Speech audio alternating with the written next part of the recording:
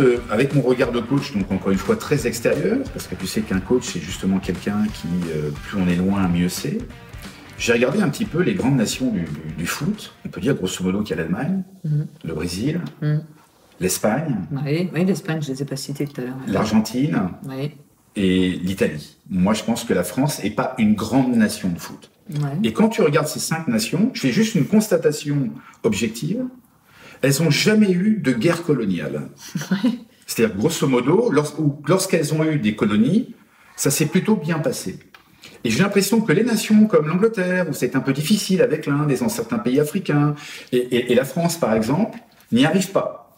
Donc, je ne tire pas une constatation directe, mais qu'est-ce que tu penses de ça? Ben, je pense que ton passé euh, œuvre forcément euh, à la construction et à la performance. C'est-à-dire que euh, toutes les, toutes les, tous les pays que tu as cités qui ont rencontré euh, ces difficultés se sont construits euh, dans la peur, dans la, dans, dans la haine et euh, dans l'envie de prouver qu'ils avaient aussi la place leur place pardon, dans la société et besoin de prouver tous les jours dans n'importe quel domaine, que ce soit le professionnel, le sportif, le culturel, etc., qu'ils étaient bons.